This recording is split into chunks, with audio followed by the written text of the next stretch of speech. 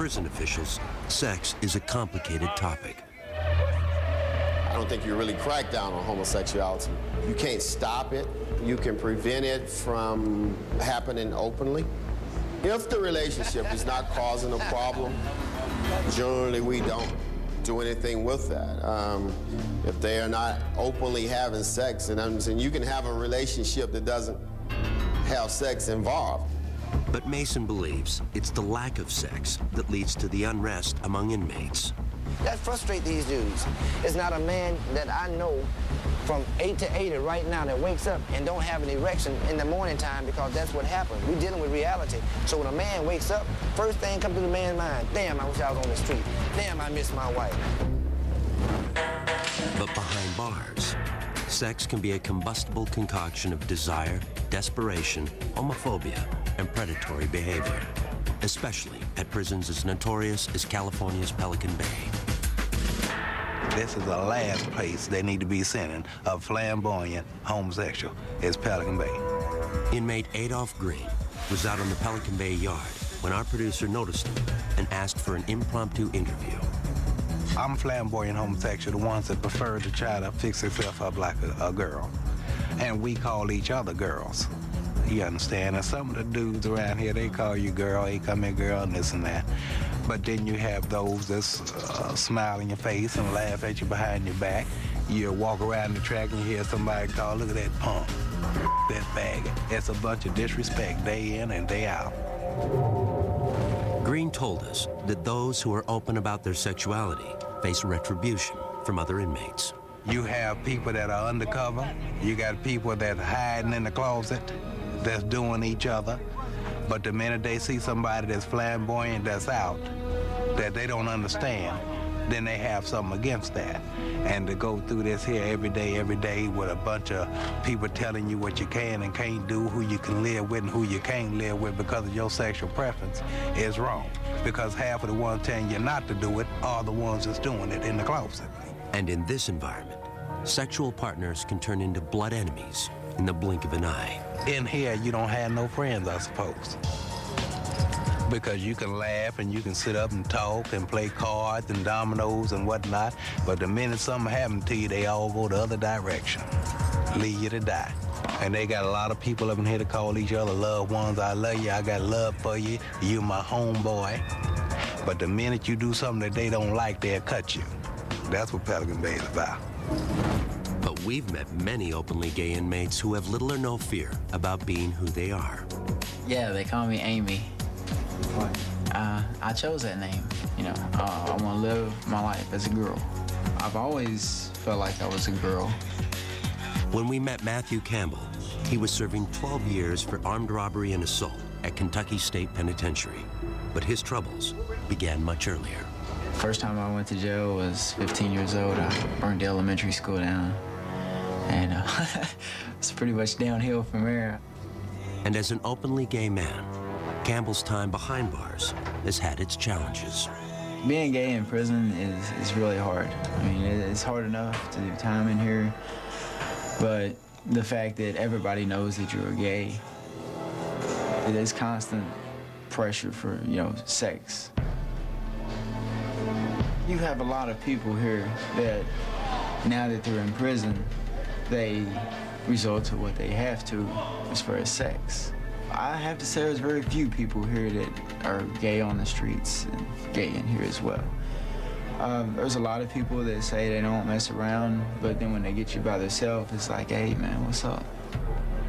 One of the things that struck me about Matthew was how comfortable he was in his own skin.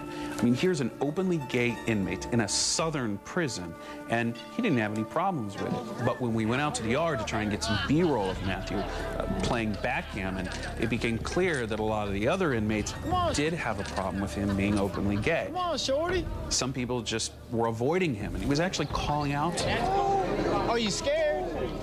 And it wasn't until the cameras went away and we backed off a little bit that people were willing to come up and get involved in the game with him. In spite of the hardships, Campbell told our producer that prison has played an essential role in his life. If I hadn't came to prison, I would have probably ended up dead. Now my family knows I'm gay. You know, I told all them when I came here, So, you know, they all know what to expect from me now. And then, you know, it's like I told them, it's going to be a different person. But before Campbell can prosper on the outside, he'll have to learn how to deal with perhaps his greatest temptation.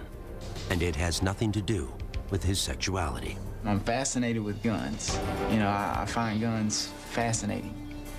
And, you know, I get a gun in my hand, it's like, you know, it's, it's trouble. Coming up on Lock Up Raw, Prison Love. We've been together about two years. I'm the wife. They're not only lovers, they're loan sharks. Mostly everybody in here has some type of hustle. And later, the unique complications of a wedding behind bars. You get a ring to, to put on your hand. Oh my god, the best ring. Get the wedding started.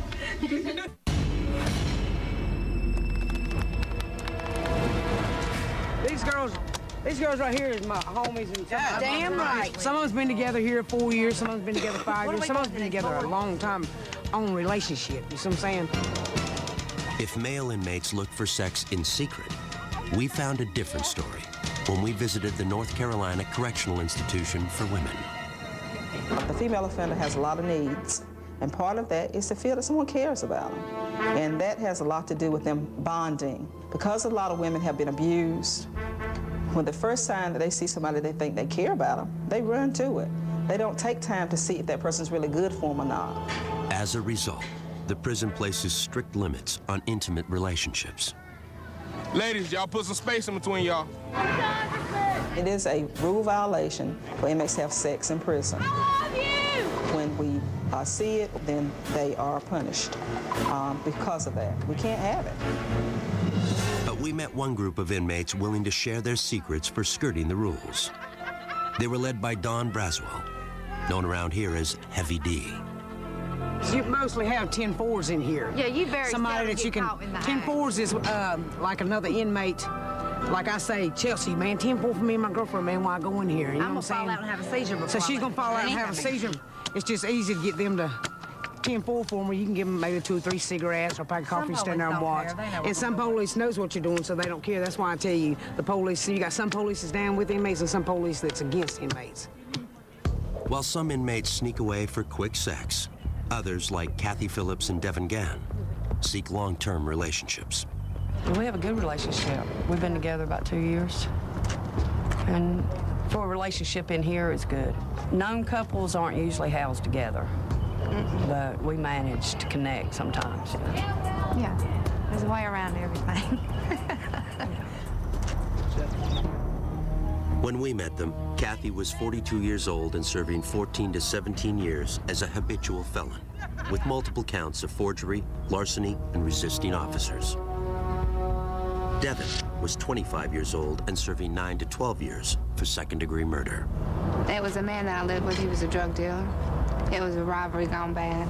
And he got killed, and I left the crime scene with the guy who killed him because I was, it was a bad situation.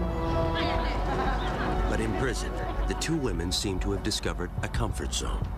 You get in here and you don't have anybody, you don't have anything, so you just sort of cling to somebody. And women are more affectionate or whatever Yeah, anyway. So yeah. it looks like normal couples on the streets, but it's all women. Some look like boys. So Yeah, they shave their head and they walk around like a little boy. yeah, they even hold themselves like there's Yeah, something yeah. down there. But any relationship in prison involves toeing the line. A new couple, it's like the staff sort of zone in on them, give them a hard time, but then after a while, it's like, you know, they just get used to seeing you as a couple and they sort of ease off. I mean, you can't, you know, kiss in front of them or do a sex act in front of them, but they're not on you for every little thing. I respect the staff, they got their job to do, so I don't cross that line. In spite of rules against it, Kathy and Devin appear to be a picture of domestic bliss. I'm the wife. We spend our money together. I shop and get our stuff and cook our food every day and make sure she has her stuff. We do everything together, everything. You know, so whatever she's involved in, I'm involved in. That includes the family business. Kathy and Devin are not only lovers, they're loan sharks. Whatever you give them, they, they owe you double. I started out with $10. Uh, put the 10 out, pulled in 20 the next week, put the 20 out, pulled in 40 the next week, and I just kept doubling until I got on my feet and got stable. And it's, it's a good hustle.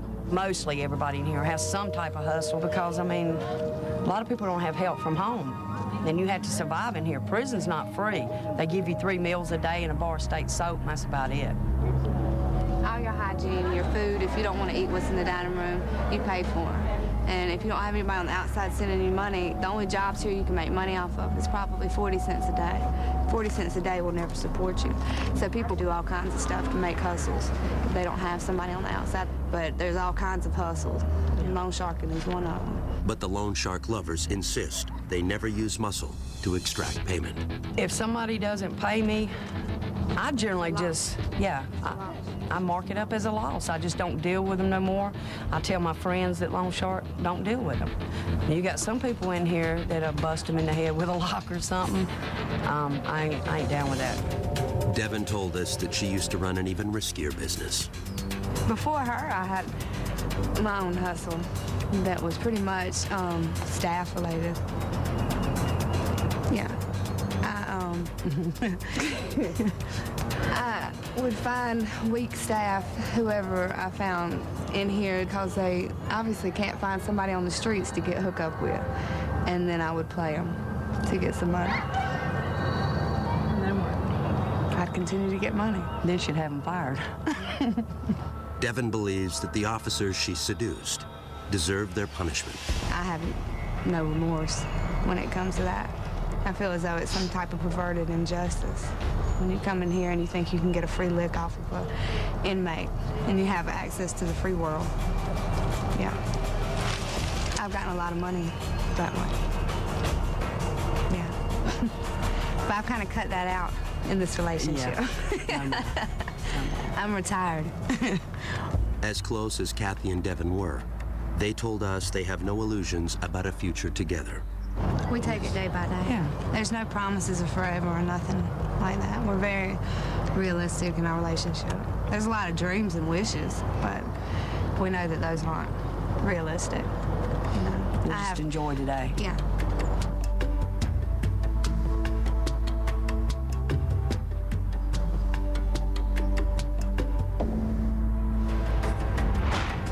Up next on Lock Up Raw, Prison Love. I, Raul, take thee, Leticia. I, Raul, take thee, Leticia. Exchanging vows when the groom is locked up. And later, when visitation includes sex, emotions run high. We're gonna go ahead and let you take one of these things. I need both of those. You can't tell me that I can't use my personal hygiene for my body. I need both of those. Raul and Leticia, today is a very special day for both of you because today marks the beginning of your new lives together as one. Under the best of circumstances, marriage can be challenging. Even more so when it begins behind the walls of one of the nation's most dangerous maximum security prisons. Yeah, I can't even touch her or nothing. So you can't even uh, um, consummate the marriage. The groom, Raul Vidal, has been in California's Pelican Bay State Prison since age 18. I was involved in gang, in the street gang, you know, drugs, violence, all that. We got into a little shootout. Uh, there were six guys in the car. They said I shot at. They were hit and all that, so they, they gave me uh, six life terms for that. Because of his gang affiliation, Vidal is assigned to the secured housing unit, where contact visits are not permitted. Right now, here together, you stand free and apart from all other people in this world. Because right now, you stand within that charmed circle of your love together. Vidal and his bride, Leticia Jaime, were childhood friends and had reconnected five years earlier. Though it's unlikely Vidal will ever be free, Leticia agreed to marry him anyway. Her son Ruben stood in as best man. he has a ring to, to put on your hand. rings. Okay. Oh my God, the dog ring. Get the wedding ring. She seen me, the person inside, that I'm a human being. She opened up her house, her heart. She gave me her family. I, Raul, take thee, Leticia, I will take the Leticia to be my wedded wife, to be my wedded wife, to have and to hold from this day forward to have and to hold to this day forward. I'm the black sheep of my family. I'm the only one that ever been to prison. I, Leticia, take the Raul To be my wedded husband, to be my wedded husband, to have and to hold from this day forward, to have and to hold for this day forward. I have been thinking about the sacrifice she made. You know, the how much she loves me to do something like that. as you take this ring and place it on her hand, Raul, will you repeat after me? I give you this ring I give you this ring. as a symbol and commitment in marriage. She knows that uh, the possibility of getting out are slim to none, and she accepted that. This is the first day of the rest of your lives together, and we would all hope that tomorrow would be even happier. You may kiss your lovely bride. Though there will be no reception or first dance for this couple, the odds aren't totally against them. According to one study, unions in which one partner is incarcerated are less likely to end in divorce than a conventional marriage. But it gives me the hope, it gives me to feel love. She's just a friend, I'm a friend, and uh, you know, we just got married, so to show love for each other.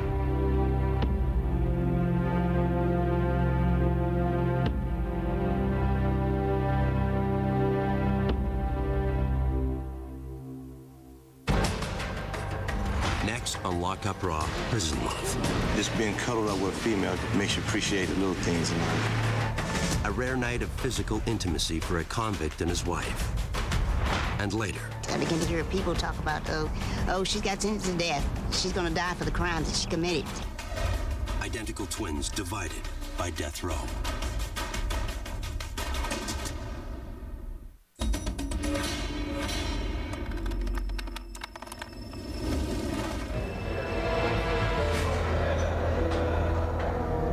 Prison inmates don't have a lot to look forward to, so visitations are a big deal. For some of these inmates, you know, they haven't seen a child or a wife or a parent in years, so it's a very dramatic time when they come to visit them. And in lockup, these visitations have provided some of the most compelling moments in the series. And few visitations provide as much drama as conjugal visits, when an inmate is allowed an overnight stay with his spouse. It makes you appreciate the little things in life. When we met Ron Golden at California's Kern Valley State Prison, he was serving a 22-year sentence for armed robbery and assaults on correctional staff. He claimed that his recent marriage to a childhood friend helped turn him around. Before I was married, I was I was always in a lot of fist fights and riots, whatever, and, uh, in and out of hole. Golden's improved behavior earned him the right to a 46-hour conjugal visit with his wife in one of the prison's family cottages. But before the visit begins, Hope Golden must pass through security. Do you have your ID? It's in here. Right. Can you get it for me? It's inside in an envelope. Let me get it from Okay. When Ron's wife, Hope, showed up, we thought we'd just get shots of her being processed, coming through the metal detector, opening her bag, getting shots of her and the CO there going through her things.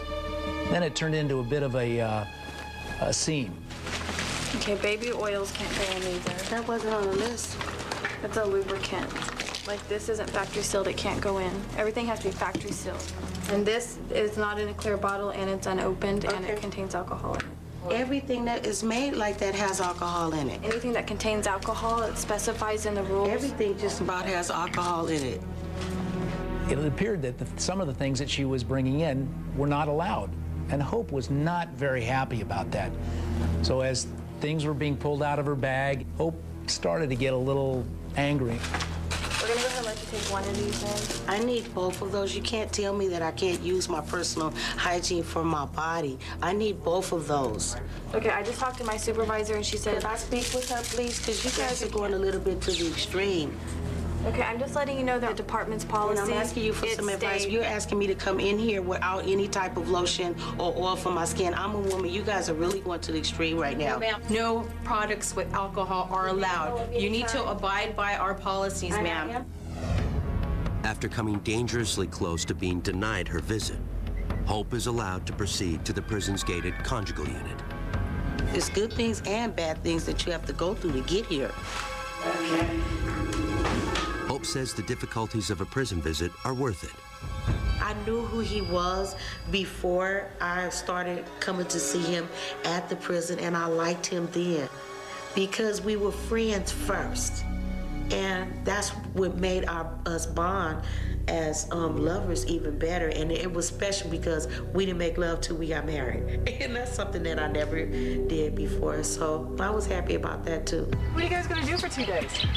Well, we're gonna have fun. We're gonna probably um, do a lot of exercise, jumping jacks and stuff. Liar. Golden is finally escorted across the prison yard to the Family Visitation Center. His long awaited reunion with his wife is just moments away. I'm feeling marvelous, extremely excited.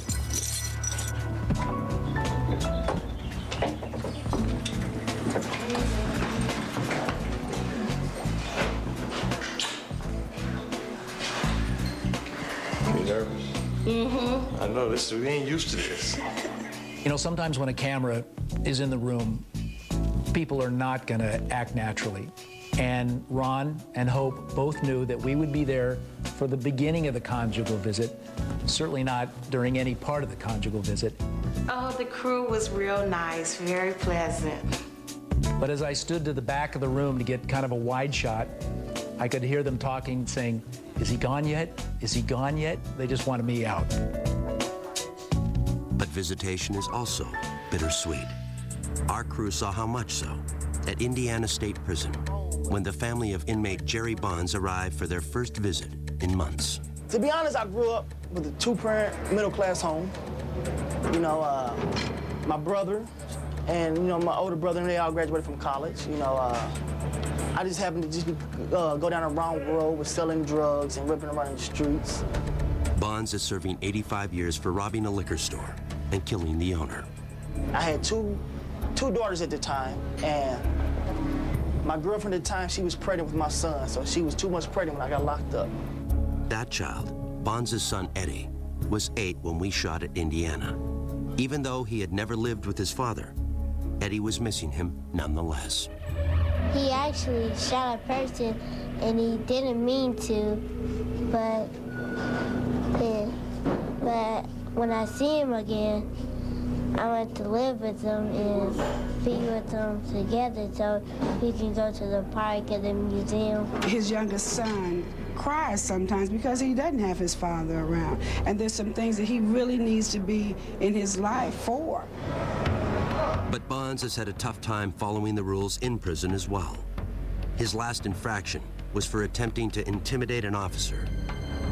That, along with three urine tests that proved positive for marijuana, has cost Bonds visitation privileges with his family. He had only recently gotten them back, but with restrictions. So right now I'm, I'm on non-contact status. It's like through the phone and the glass. How did you react when your son told you that he wasn't going to have contact visits anymore? Well, I was upset at first, and I even threatened him to uh, to not even bring his kids up here, you know. And uh, I was very upset with him. Uh, matter of fact, I was so upset with him I couldn't think straight. Bonds acknowledged that his actions, both in and out of prison, don't set the best example for his children. And it's like, how can I tell you guys to be good and do good in school and stay out of trouble? And every time you come and see me, I'm on restriction from visits, or I can't have visits because I'm in trouble. And they're like, well, you're kind of a hypocrite, Dad. You know, you're telling me to be good, but you're not being good. Our crew caught up with Bonds shortly before his first visit with his children and parents in months. Your clothes are pressed, your, your boots look like shiny new. Uh, You want to look kind of kind of spit because it is a special day. You know, because your family do come, they have came from, from so far. It puts a smile on their face and see, okay, you are doing okay. You know, because they worry about me here. But first, Bonds would need to pass pre-visitation security measures, starting with his freshly pressed clothes. All right, do me a favor, go ahead and completely disrobe. Despite the fact that he will not have physical contact, Bonds, like every other Indiana inmate, is strip searched prior to visitation. All right, this time open your mouth, please. Put your fingers in, spread your cheeks apart. Upper lip up, please. Lower lip down. You look inside your nose, please. Authorities must ensure that inmates are not attempting to pass contraband to the outside. Turn back around, squat cough. All right, go ahead and get dressed. Meanwhile, the Bonds family has to pass through security as well. And even though it was nearly a three hour drive to get here, Jerry Bonds Sr. feels it's worth it. When a person is down, you really have to be there for them, you know? So what we try to relay back to Jerry is that we hope you get out of here sometime soon. And then when you do get out, you know, to pick up where you left off and show these kids that they're not just coming up here for, you know, nothing at all. I'm just anxious, man. I want to see him so bad. I wish I could touch him and hug him, but I guess this is better than nothing. Finally, the waiting is over. What's up, man? What's up? How y'all doing? I got looking cute. Thank you. Look up, let me see you. Let me get a smile, man. I ain't seen you in a while. How you doing in school? Mm-hmm. Which grade you going to, Eddie? Well, the hardest part is like seeing him behind the glass and he's in here and stuff. So I really want him to get out. When his kids can't hug him, like I told him, he's hurting his kids. Mm-hmm. You know, I can stand the hurt, but sometimes kids can't. What's wrong with Granddaddy? Let me speak to him. Hold on.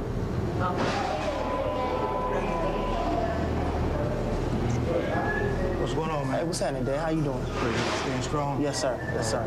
Hey, thanks for bringing him up for me, Dad, man. Well, I want to let him know that we love him no matter what, but make it easier on us when we come up here. We're in here with you. Don't make it to where we're, we are locked up, being locked up. You know what I'm saying? Hey, okay, I ever told you I loved you? Have I ever told you I loved you? I love you guys. And I'm sorry, okay? Would you guys forgive me? Limited to only 30 minutes, the visit hardly seems to have begun when it's time to leave. I love you. Y'all be good. Bye-bye. All right, stay strong. Yes, sir. I'm praying, hoping, hoping that this is the last time they had to come up here like this and see me behind the glass, because it's not a good feeling. Not a good feeling. I just feel about um, when I don't see him anymore, I get sad, and when I see him, I get happy. I want him to be here, and then I don't want him to be here. I want him to like learn his lesson while he's here, so that when he comes home, he knows right from wrong and know what to do and know what not to do. As a mother, I'd like to just touch him and, and are you okay? I want to give him a hug. And I haven't been able to do that, but I know one day I will. Coming up on Lockup Raw, Prison Love. I love him to death. I'd do anything for Brad. Anything. Short of killing somebody again. The family bonds that lead to murder. And later, One of the first things that I noticed was something that I never thought that I'd seen a million years on a prison yard. And that's all of the cats. when inmates adopt. Especially when they're little babies and you can raise them up, pet them, you feed them, you, you watch them grow, and that's your cat.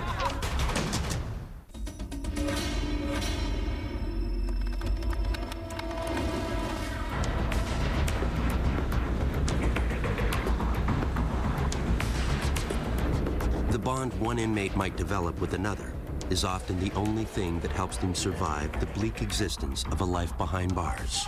In some cases, those bonds have existed their entire lives. Over the years, lockup crews have discovered a surprising number of family members serving time together. But few have ever had to face the difficult circumstances that confronted Yvette and Doris Gay. Being on death row was, was it was like um, I needed I needed to be with my sister.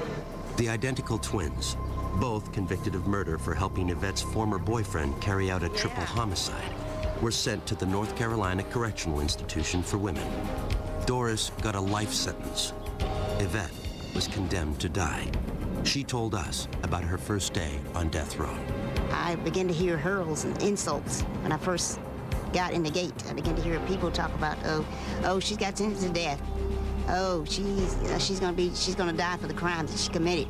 Even though they were housed at the same prison, the women were prohibited from seeing one another. But occasionally, Doris would catch a fleeting glimpse of Yvette.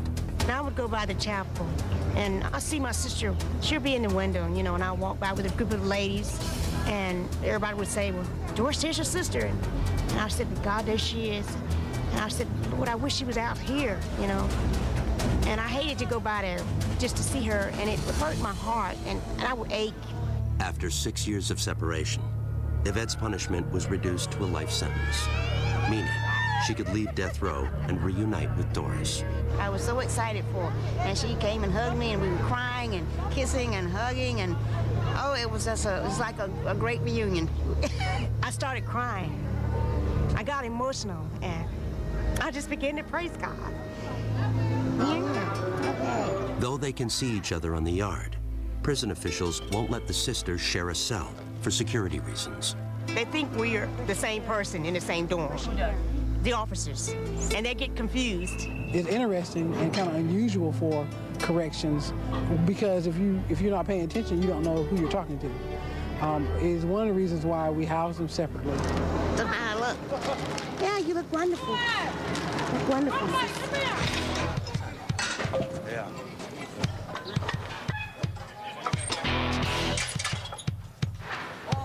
That's my only brother. We're really close. We're really tight. We eat together. We live together. We work together.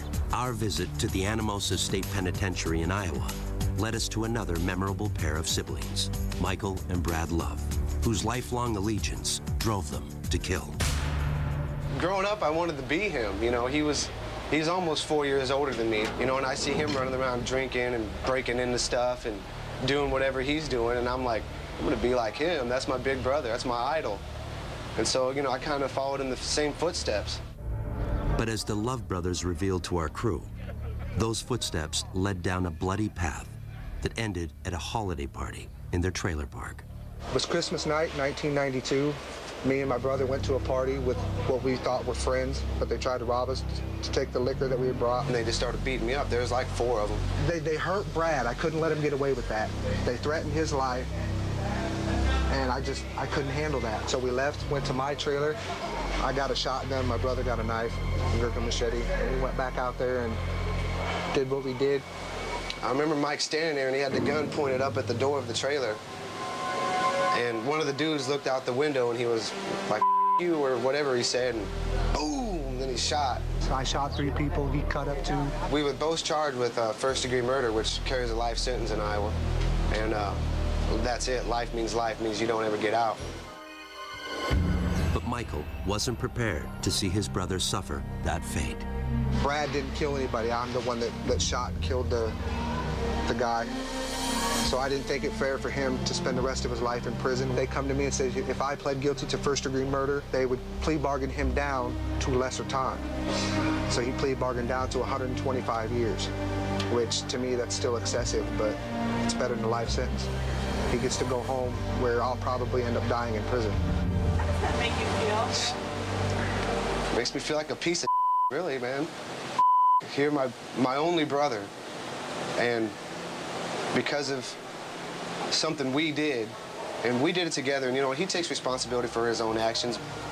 I don't know, man. It makes me feel like like I'm that tall because I let it happen. I think in my mind that he's here because of me, so I carry that guilt around every day. He was 18, he turned 18 in county jail. He had a whole life ahead of him. He could have been a pro football player or a rock star, whatever he wanted to be. And I feel in my mind and my heart that I ruined that for him. And there's just, there's no way to explain how much guilt I carry around. The Love brothers were initially incarcerated together at another Iowa prison.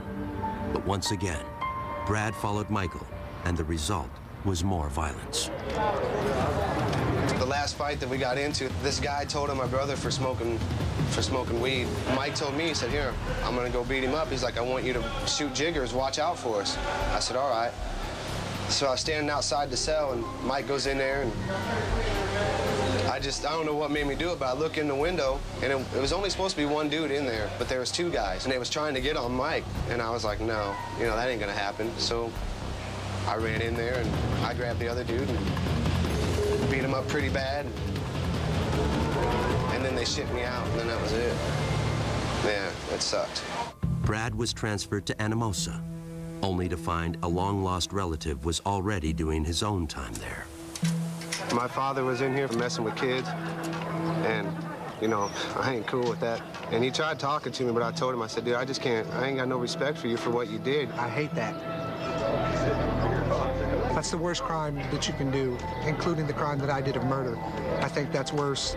In 2003, their father died of a heart attack while still incarcerated.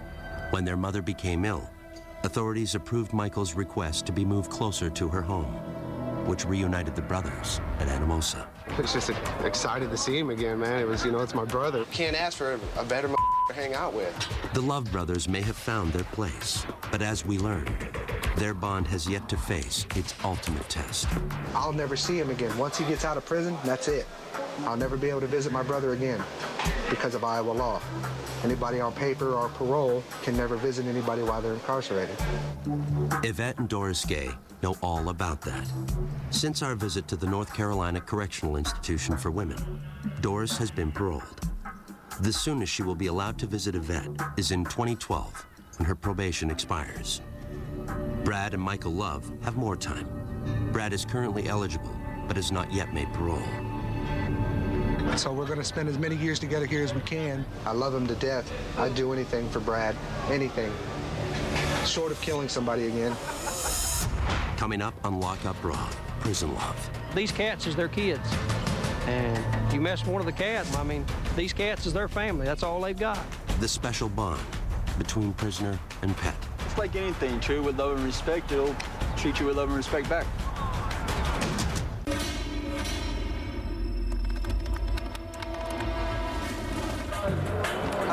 The social center of almost every prison is the yard. It's the rare space where inmates socialize, exercise, and occasionally fight to the death. But lockup crews have found that on some yards, even at dangerous maximum security institutions, inmates have found something to fill their hearts with love and nurturing, just not for each other. This is Bane. This is my buddy cousin, Ted. Nobody's family home cat is, I could see, could be happier than these cats in here. One of the first things that I noticed when walking out of the yard in Kentucky was something that I never thought that I'd seen a million years on a prison yard. And that's all of the cats. They were all over the place. Nobody remembers exactly when dozens of stray cats began to adopt Kentucky State Prison as their home. And as our crew discovered, the inmates were more than happy to adopt the cats as pets. Especially when they're little babies and you can raise them up, pet them, you feed them, you watch them grow, and that's your cat. They're like, a kid. It was really amazing to see all of these felons, the guys that were in the state's maximum security penitentiary, with cats climbing all over them. They had them up on their shoulders, they were petting them constantly. And it was really interesting how the inmates had developed very, very nurturing relationships with these cats. We've got all kinds of cats, and you've got these guys here that these cats is their kids. And you mess with one of the cats, I mean, it's just like messing with my kids at home. I mean, these cats is their family. That's all they've got. And like any proud parent, the inmates shared photos of their favorite felines. We, we cat lovers up here. Now here comes one. This is a monster right here. People had specific cats, and if you didn't want anything to happen to that cat, the last thing you were going to do is commit an act of violence that would send you to segregation where you couldn't care for it anymore. So, in this funny little way, the cats contributed to a lower level of violence on that yard. The vet comes once a month. You can buy dry food and medicine and toys and stuff so, like that. So guys work hard at their jobs to earn their money, and they'll spend it on. And they'll, sometimes their bet deals 60, 70, 80 bucks, takes everything they've got. Come on. Just give me some room.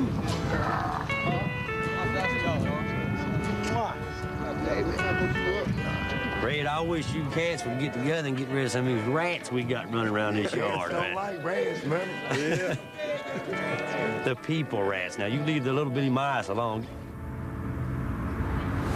We found an even more unlikely bond at California State Prison, Corcoran. It's like anything, true with love and respect, it'll treat you with love and respect back. We were just kind of out on the yard shooting, and uh, I looked over it and I saw these guys petting something. And at first I thought it was like a, a little a kitten, and it ended up it was a gopher that they had tamed. We shampoo them, you know, take, give them little baths, you know, bring the dirt mites in and uh, play with them and uh, let them run around in our cells, feed them apples, lettuce, take care of them, and they're good little pets. It's like the best companion I've ever had. A lot of the guys that we ran into uh, have probably never had anybody, you know, to love or anything or anybody to love them. And, you know, when you run into somebody who is, uh, you know, adopted a gopher and it gives him some sort of outlet for affection, uh, it, it's got to be a good thing. But we found a very different case of inmate creature bonding inside California's San Quentin State Prison. I'm Mike Miller is my real name, and and the staff here call me the Birdman of San Quentin. The first day I got here at San Quentin, um, birds seemed to have uh, flocked to me for some reason, and um, I don't know. They probably think I'm the Birdman of Alcatraz. Maybe they're mistaken because he has a shaved head too. Miller was serving an eight-year sentence for burglary when he proudly showed us his cell, a virtual shrine to his winged friends. And ever since I've been here, the birds just come up to me like they know me. You know, I got them landing on my shoulders and my hands and, you know, different kinds of birds, not just pigeons, but I got the, you know, the different kinds of blackbirds like the finch and the Red Wing landing on me. I think the birds is a good way of um, releasing a lot of tension and anger. And before I got arrested, my girlfriend used to chase the birds away. She didn't want me around them.